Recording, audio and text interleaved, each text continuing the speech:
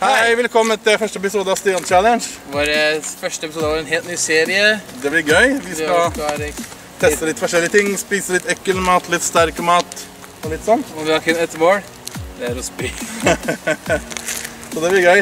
Ja. Så vi håper dere enjoyer Ja, noe helt nytt fra oss. Det blir gøy. Yep. Ha det. Enjoy!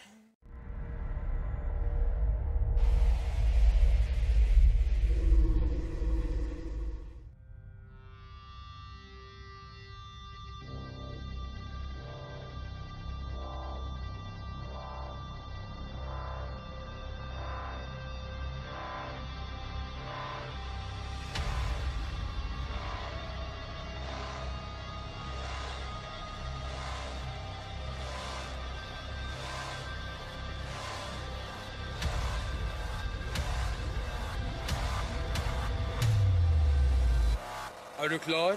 Som et egg.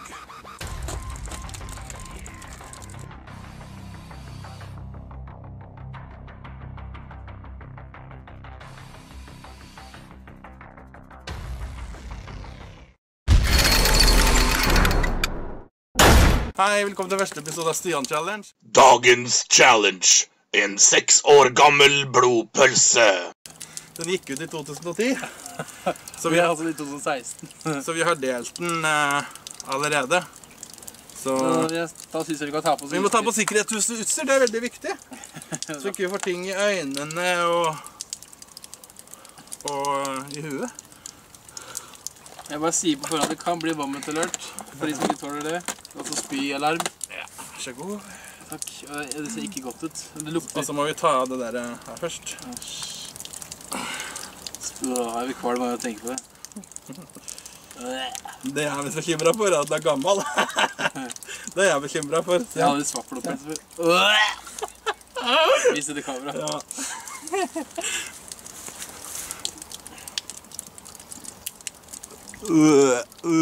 Jeg tar ikke en stor bit, altså. Jo, må spise hele. Nei, å fy faen.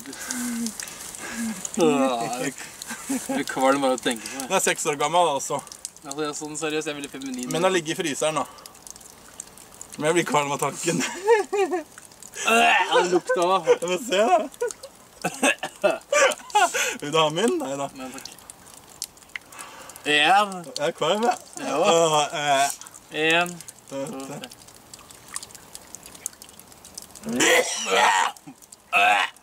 Det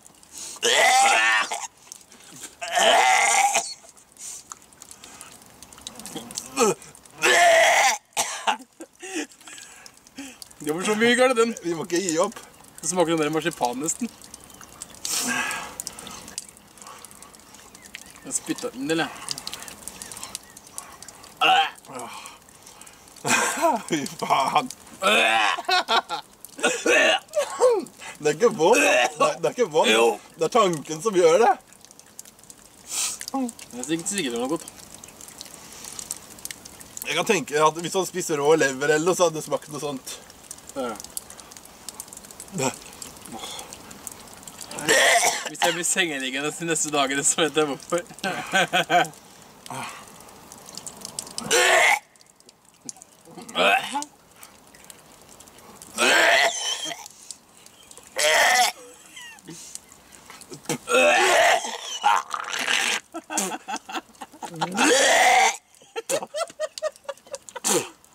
Å, fy faen.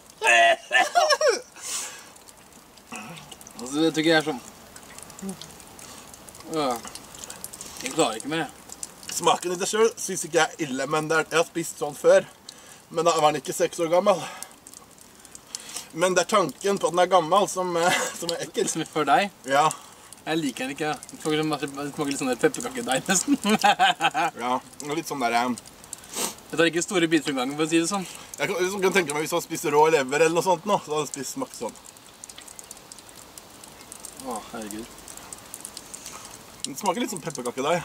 Mm, men ja, konsistensen, det, det hindrer litt den Men for meg, ble- Jeg har nesten, ikke spist. for meg så er det alderen som er ekkel. Ok, jeg skal ta en stor bit og bare yolo hele greia. Fy faen.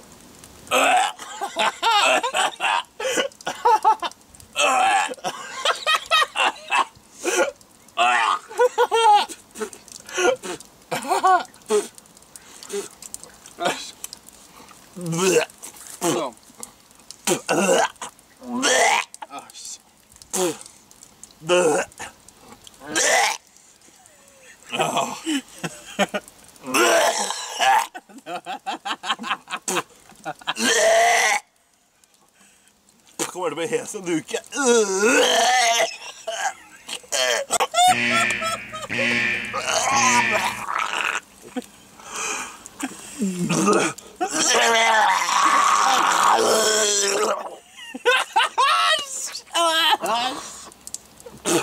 Æsj, faen.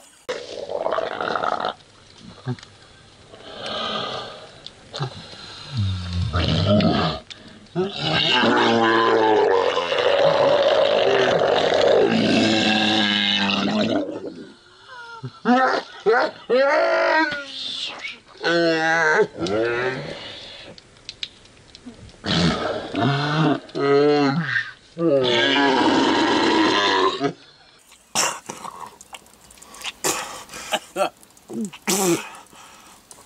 smakte Subway.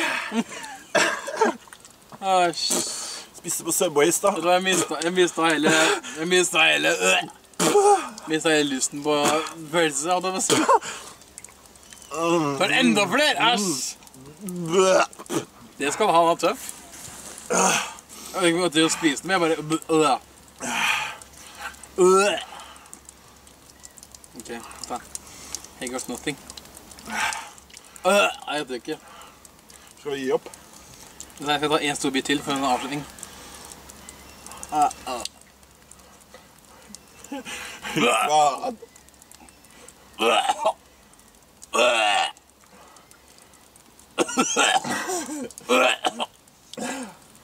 Kom igjen. Nå er jeg. Jeg skal ned. Du skal ned.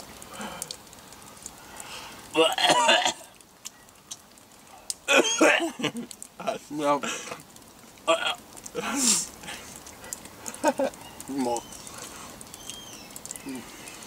Hadde du hadde spist sånn, en, en sånn hver dag hvis du fikk eh, 20 000? Kanskje.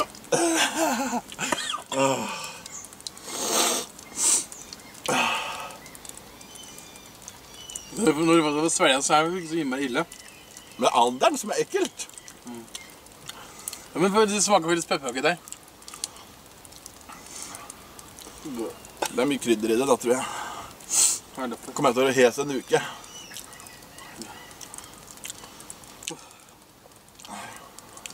Nei, skal vi opp? Ja. Jeg er bare sånn her, jeg. Hva er skatt? Jeg hadde tenkt å filme at jeg heiv det i veggen, men det var ikke noe godt. Det var helt for jævlig. Stian spydde, jeg klarte meg. Eller, Åh, fy faen. Det brakk meg litt, da. Så da har jeg blitt veldig hes. Kanskje jeg heser neste episode òg. Vi får se da, vet du. Så Da ses vi om eh, vet ikke, en uke eller noe. Så. Ja, vi får se. Spørs når vi gidder å filme neste gang. Ja, ha det. Ha det.